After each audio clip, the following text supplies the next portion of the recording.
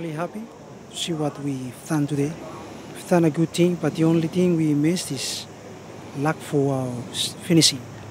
That's what we can say. But we are really happy for this game.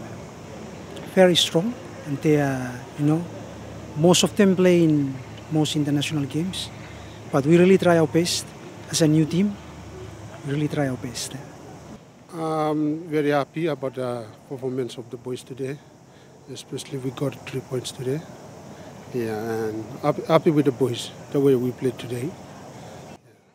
Obviously, Malampa proved dangerous at times with their equaliser. What did you think of their performance today? Yes, I think um, Malampa they give us a good game today. Yeah, they, I think they improved from their last games, from the last game against um, Lake City, and yeah, um, was was very happy about the result today. The boys went out there, gave give 110 10% effort.